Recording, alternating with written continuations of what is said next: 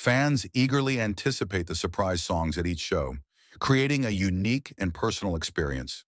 The response has been overwhelmingly positive, with fans appreciating Swift's effort to make each concert special. The Eras Tour's success suggests this beloved tradition may continue in future tours.